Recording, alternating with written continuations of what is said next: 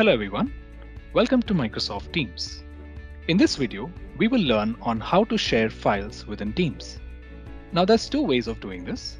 One is within Teams itself. So I'm on Teams and I'm in the product demo team and I'm in the SharePoint channel. Now within this channel, I want to upload a file. So go into the attachment icon here on the bottom and you can now choose to upload a file from your OneDrive for Business or from your computer. So in this example, I'll quickly upload a PPT here.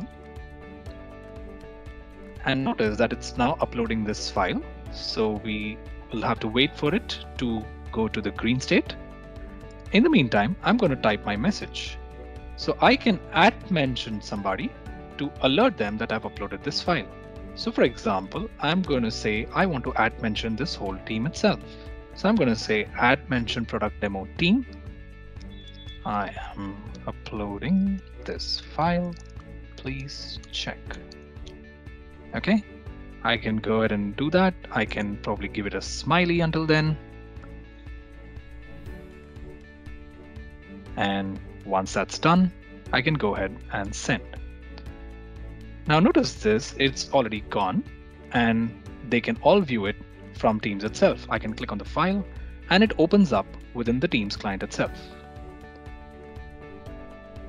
Now I can also do this on my chat experience. So for example, if I want to send a file to Manish, I can click on the same icon here and upload this a similar looking file onto this particular chat.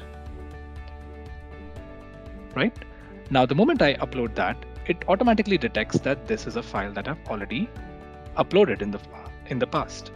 So in this situation, I can choose whether I want to keep both or replace. So I'm going to say replace and I'm going to go ahead and send this file.